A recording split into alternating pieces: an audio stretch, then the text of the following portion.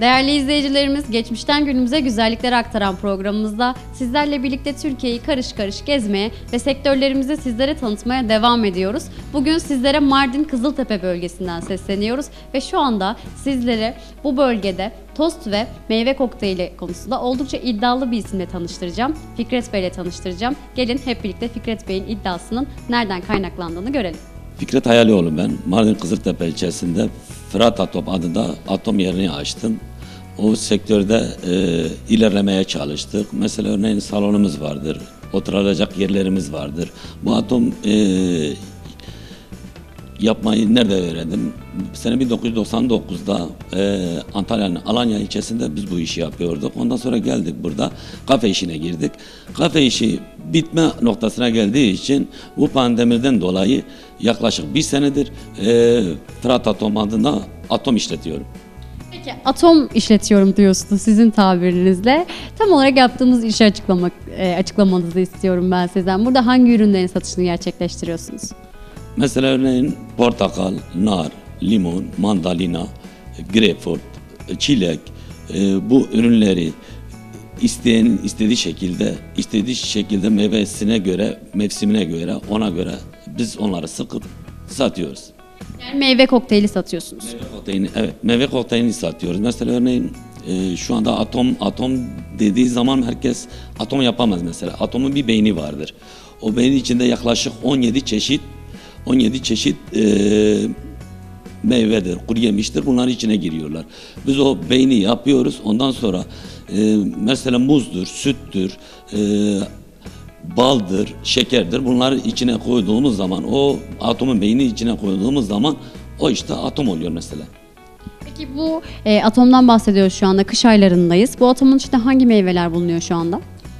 Ee, şu anda mesela örneğin e, ağırlıklı olarak kış olduğu için genellikle biz e, portakal, mandalina, nar, limon, greyfurt bu ürünleri yani şu, şu anda bir hastalık var mesela şu ülkede e, pandemiden dolayı. Mesela biz de diyoruz ki pandeminin panzehiri.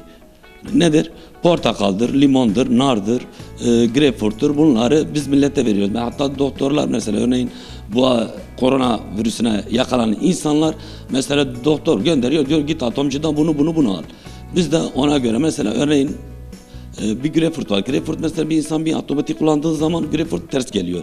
Onun için özellikle o gelen insanlara soruyoruz. Mesela örneğin siz bu ilaç, ilaç falan kullanıyor musunuz? Kullandığınız zaman biz bu greyfurtu içine koymuyoruz.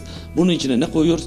Portakaldır, nardır, limondur, mandalinadır. Bunun gibi şeyleri sıkıp e, meyve kokteylini yapıyoruz. Yani aslında şöyle bir şey var. Normalde oturduğumuz zaman bir greyfurt, mandalina, portakal e, tüketmek aslında fazla gelebilir bir insana ama siz bunun tamamını sıkıp e, tüketmemizi önerdiğinizde bu şekilde bize sunduğunuzda bunu daha rahat bir şekilde tüketebiliyoruz. Aynı zamanda çocuklar için de aslında bu çok güzel bir e, sistem baktığımızda meyvelerin sıkılması ve bir araya getirilmesi. Mesela örneğin mesela çocuklar geliyor mesela atom falan diyor. Biz de ne öneriyoruz? Biz duyuyoruz ama şu anda atom çok soğuk olduğu için atom belki bir e, kışın çocuğa biraz zarar verir. Biz ne yapıyoruz? Biz kendilerine meyve kokteylini e, öneriyoruz. Mesela atıyorum mesela bir çocuk ne içebilir? Nar ağır gelebilir.